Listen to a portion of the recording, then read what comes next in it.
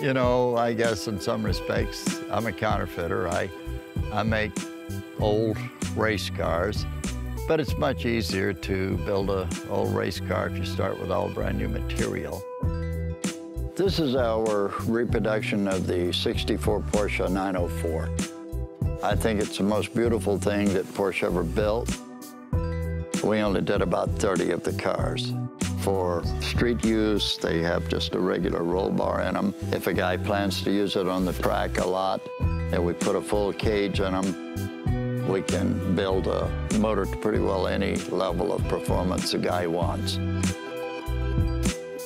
This is my baby, so to speak. Uh, this particular car is also another fake car. I know it looks like a 914, but it's 100% glass. The only Porsche part is about the floor.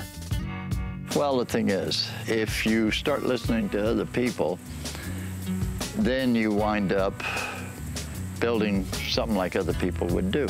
So if you just start with a clean place in the floor and do it the way you think it could be done, if it works, it's all yours. If it doesn't, you only have one person to blame. People like Chuck just aren't uh, constricted by the self-doubt of not being able to make something from scratch. And that's why he's able to create. This car here is basically my idea of the Lister Knobbly. Styling is of the Knobbly, although this car is a little bit bigger. This particular car has one of the V12 Jags out of an XJS. Basically, it's a 50s sports car.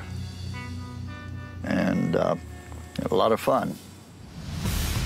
There's a hell of a crowd here today. Henry Ford the third. What do you think of what Chuck's done to this?